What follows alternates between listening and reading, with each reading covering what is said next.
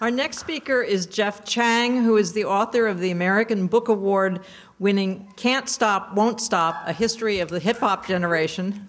Was there a little outburst of cheering there? Is that what was that? Okay. And editor of Total Chaos, The Art and Aesthetics of Hip Hop. He is currently writing two new books, and he's not even up for tenure, are you? No. Who We Be, The Colorization of America, uh, which is being published by St. Martin's Press, and Youth, the Picador Big Ideas Small Book Series. Jeff was the ASUC president during 1988 to 1989. Okay. and was extensively involved in the anti apartheid and racial justice movements and in organizing against budget cuts to higher education. Jeff, welcome.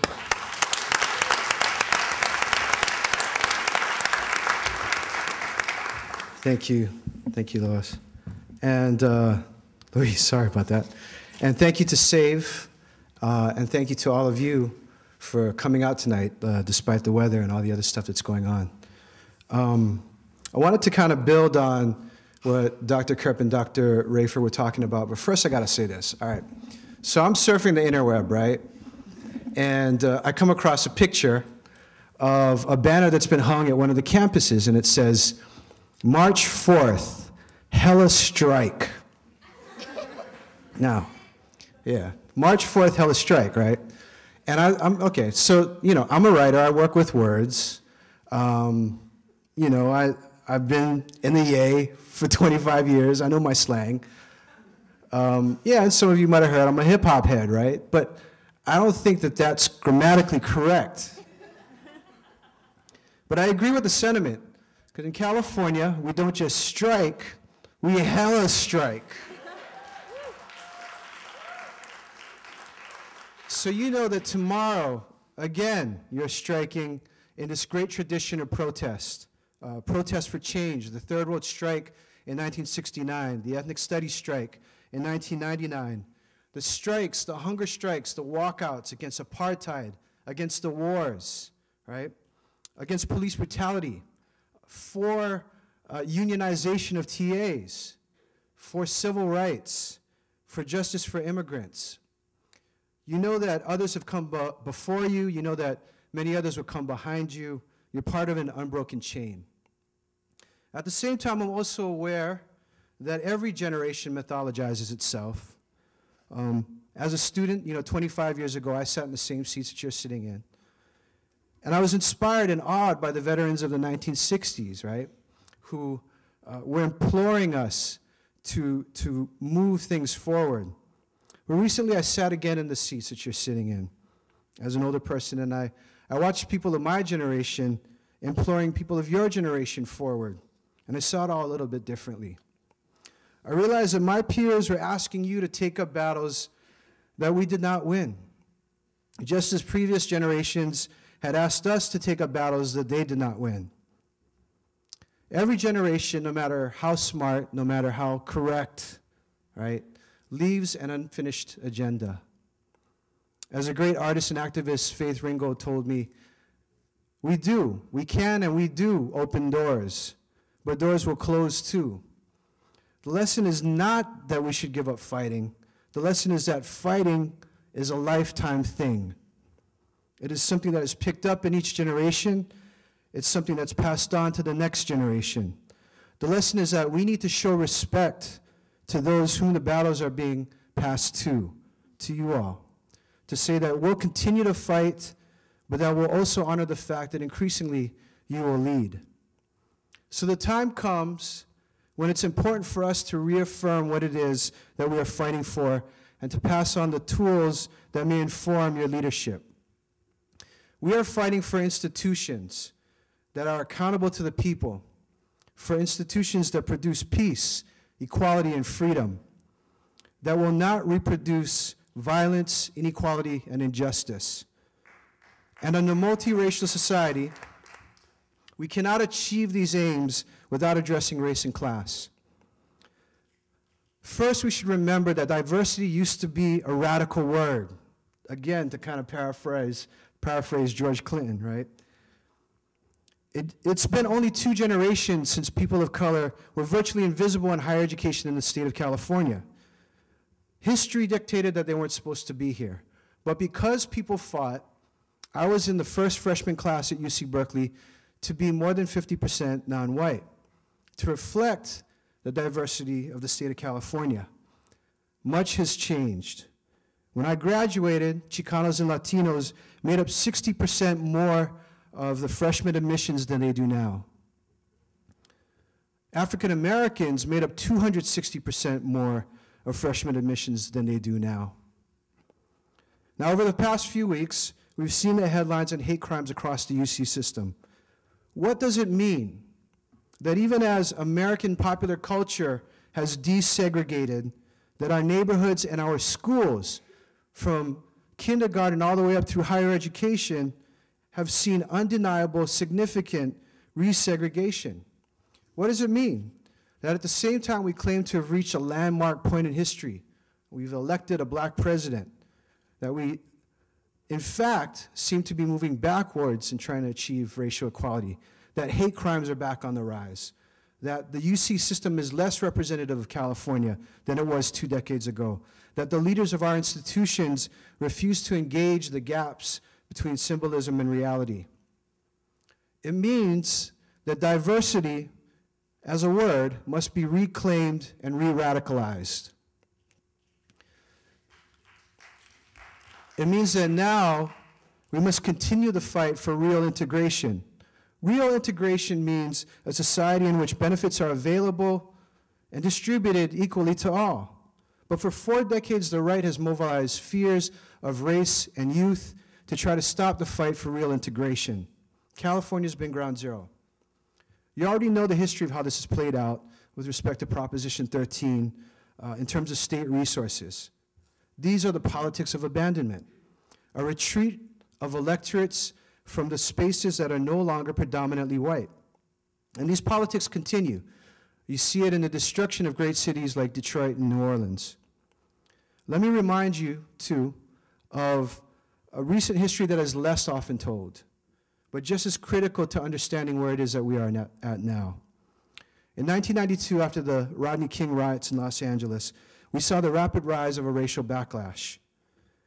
If right wingers have used the shock doctrine to press free market reforms into spaces and on people devastated by war, they have also used the fear doctrine to move the state to press the politics of containment on spaces and on people that have been devastated by abandonment. So, right after the riots, in quick succession, we saw the passage of Proposition 184, right? The three strikes law, largely directed at black and Latino youths. Proposition 187, the initiative that banned social services to undocumented immigrants, was so invidious that it was ruled unconstitutional. Proposition 209, of course, that banned affirmative action. Proposition 227, that banned bilingual education. And finally, Proposition 21, the anti-youth initiative that capped a rising tide of laws targeting young people, and especially young people of color. You can see the continuation of the politics of abandonment and containment in the rise of the so-called Tea Party movement, which is simply the return of far-right populism. It may not specifically be, uh, appear to be about race, right? It's about Obamacare, uh, it's about big government. It's about letting the market fix itself, uh, unless, of course, it's about shoring up the private institutions that failed in that marketplace. But the Tea Partiers are not scared the most about socialism. They love their Medicare, right? They're scared of the country that they see uh, emerging. They're scared, they're scared of the country that they see every day uh, in their president's face. They're scared of the country that they see walking through the schools of California every single day. They're scared of youth and they're scared of race. And that is why they fight so fiercely to disengage, to run away from any notion of community, to exit society completely, but only after they've completely devastated it and built a wall around everyone and everything that they've left behind.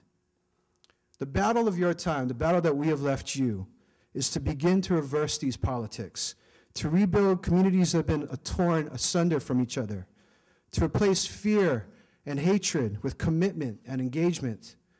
And resegregation may, the, may be the most important domestic issue that we face in our time because it's the most deeply rooted.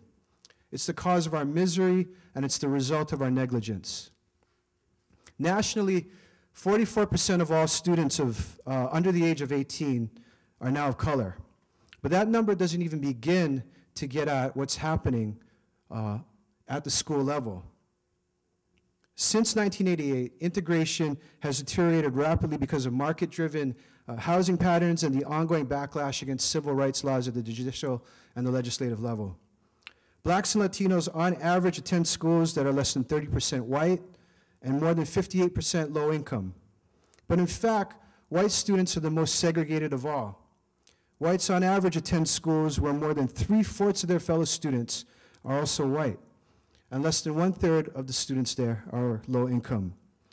In other words, white students attend the least poor and the least racially diverse schools uh, in America, and it's getting worse. This is the context for the university's recent policy-making uh, decisions around admissions, which contradict its stated goals of maintaining diversity. The UC wants not only to reduce in-state admissions and enrollments, but to further reduce racial diversity on the campuses. Last February, the Board of Regents passed a new freshman admissions and eligibility policy that reduces the percentage of guaranteed admissions from 12.5% of California's graduating seniors to 10%. And in turn, it supposedly expands the number of students of color who can be reviewed in this process. What the university did not explain then and will not explain now is why their own studies show that potentially thousands more students of color would be rejected under this new policy than under the current one. According to its own uh, simulations, African American admissions in the UC system could drop by up to 27%. Asian Americans by 11%, and Chicanos and Latinos by 3%. Having already obliterated real diversity once in the 90s, the university seems ready to do it again, with the budget crisis as its defense and under the cover of the notion of merit. Now, merit's always been a fiction, a distillation of political priorities at any given moment. Back in the 80s, a year after UC Berkeley admitted its first majority non-white freshman class, it instituted a range of policies that discriminated against Asian Americans. There was just too much diversity then. And there seems again to be too much diversity now. We forced the doors open and they, they closed them again. Some people say we live in a post racial society, some people say we live in a post racist society. And yet, if you look at what's been happening at UC San Diego, we don't seem to have advanced very far from the 1960s or from even the 1980s. Look how quickly the opposition to the black student union's demands coalesced and around what tropes. The frat party oh, was thrown by a, a black man. Not true and not the point. The noose, so it must have been hung by a black woman. Not verifiable and not the point. From the LA riots through now, the mainstream narrative is that no other kind of racism can exist except one in which whites do not participate consciously or unconsciously. And I don't say that to argue that the burden of addressing racism goes to whites alone. That would be ridiculous and wrong. Because the persistence of racism benefits many, inclu including many who are non-white. I'm saying this to get us to challenge the idea that disengagement is virtuous. It begins with a small lie. Teaching your child, right, that recognizing race is in itself racist, that's a lie. And it moves on up to bigger lies, like the lie that because we have disengaged from race, we now live in a post-racist society, that inequality no longer exists, that there's no such thing as racial justice left to achieve. So this fight is much more about, uh, much more than just about the university. We have to see the big picture. Yes, let's talk about how the state's priorities have to shift from incarceration to education. But let's not abandon our own who are on the other side of that line. To be about liberation education is to first be about liberation, to enfranchise the disenfranchised. What institution in society has thrown its doors uh, open to people of color more than prisons? Who in society is more disenfranchised than prisoners? We should be talking, as Angela Davis and George Lipsitz put it, about an abolition democracy. We should be talking about what it would take to make prisons obsolete.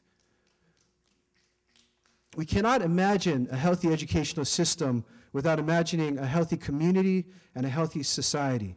And these are the stakes of the fight. So we need to stop the UC admissions policy. We need to stop the fee hikes. We need to stop the budget cuts. We need to restore jobs. We need to restore access. These are urgent and necessary issues. But we are also fighting a larger fight. We are fighting to turn around political and fiscal abandonment. We're fighting to end isolation and containment. We are fighting to model commitment and engagement. We are fighting to restore community. We are fighting for the presence and protection of radical diversity. We're fighting for real integration that brings us all towards peace, towards freedom, towards justice. And so, again, the odds might seem long, change seems impossible, but that is why we must fight. That is why we must demand everything. Three, four generations have demanded everything. Time and again. We've been beaten down, but we still keep coming back year after year because we deserve more and we've been getting less and less. Tomorrow, students in Florida, Nevada, Washington, Texas, Wisconsin, New Jersey, Georgia, New York, 20 other states will be walking out of their classes as well. They too will be on strike. So when you take to the plaza and to the streets and to the halls of power, let them know that on behalf of all the students that came before and that are out there now that are not with you, you are making a stand and you will not go away. When your generation goes out there tomorrow and for the rest of your lives, strike against abandonment, strike against containment, strike for community, strike for radical diversity. Just hella strike. And we will be out there following.